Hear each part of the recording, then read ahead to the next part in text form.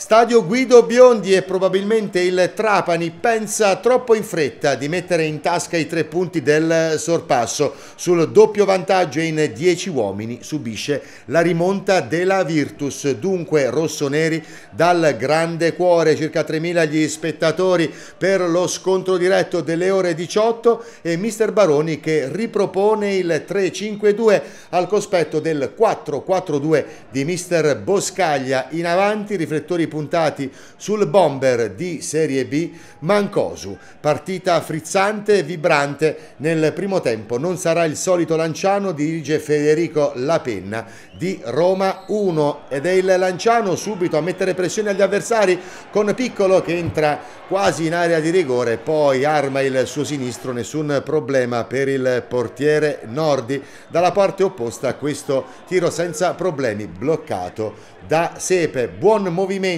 per il Trapani, mentre la prima sostituzione è necessaria. Trest accusa problemi muscolari, il difensore Ferrario entra al suo posto, giro palla da parte del Trapani, attenzione a questo tiro di Gambino che lambisce il palo poco fuori sulla destra del portiere Sepe. E poi attenzione perché questo è il gol che spezza gli equilibri, indecisione di Aquilanti, dietro le sue spalle c'è Bomber Mancosu che non si lascia pregare e sfrutta l'indecisione clamorosa difensiva rossonera, gol del vantaggio, rivediamo nel rallenti. Aquilanti e Sepe, Aquilanti di testa si prolunga il pallone, Mancosu realizza il gol trapanese, il Lanciano non sembra poter reagire con grandissima cattiveria e attenzione a Basso che ha la palla buona per chiudere i conti e realizzare il 2-0 ancora il Trapani e vedete con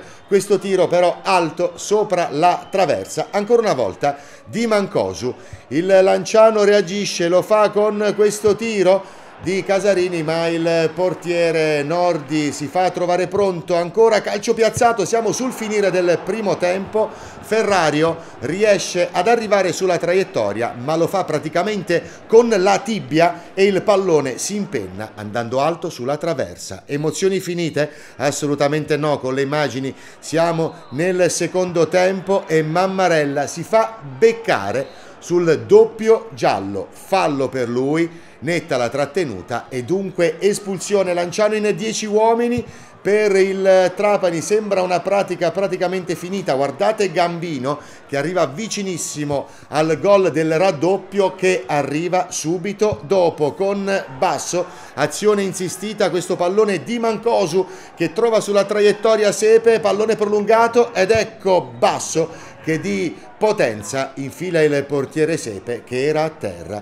Dunque in 10 uomini la pratica sembra conclusa, non solo per i più scettici, ma entra Tiam. Ed ecco il gol di Antonio Piccolo con Tiam che propizia, dunque il Lanciano è vivo e comincia ad essere tambureggiante col grande cuore, la grande generosità. A pungolare la retroguardia trapanese che nel frattempo si schiera in, eh, abbottonandosi a centrocampo e in difesa. Poi entra Manel Turchi e Mametiam ruba il pallone a centrocampo da Terlizzi, poi libera Manuel Turchi il suo destro ed è il gol del 2 a 2 nel tripudio generale sotto la curva sud.